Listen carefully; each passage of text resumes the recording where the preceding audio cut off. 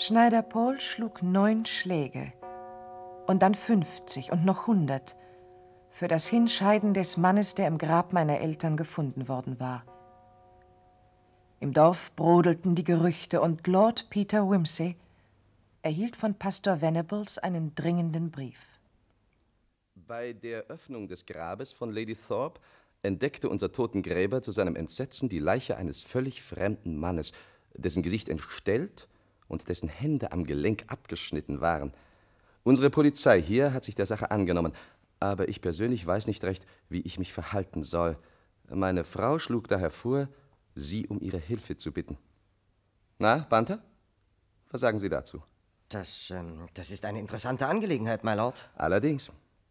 Ich finde, wir sollten morgen nach Fenchurch St. Paul fahren. Ach, äh, Moment mal. Da ist ja noch ein Nachsatz. Meine Frau bittet mich nicht unerwähnt zu lassen, dass die Leichenschau am Samstag um 2 Uhr stattfinden wird. Das ist heute.